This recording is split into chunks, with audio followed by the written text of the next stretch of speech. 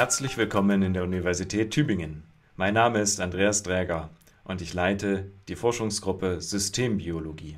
Systembiologie fragen Sie jetzt vielleicht, was ist denn das? Nun, Systembiologie ist ein Teilbereich der Bioinformatik, der es sich zum Ziel gesetzt hat, lebende Systeme im Computer als Modelle abzubilden, die dann simuliert werden können, um Fragen zu vielen Anwendungsmöglichkeiten zu beantworten. Dazu zählen nicht nur zum Beispiel die biotechnologische Produktion, sondern auch der Kampf gegen Infektionskrankheiten und vieles mehr. Wenn Sie lernen möchten, wie man solche Modelle erstellt und simuliert, dann kommen Sie doch zu unseren Lehrveranstaltungen, die wir sowohl für Bachelor als auch für Master anbieten. Dazu zählen nicht nur die Vorlesungen Systembiologie 1 und 2, sondern auch Proseminare, Seminare und manchmal auch Teamprojekte zur Softwareentwicklung.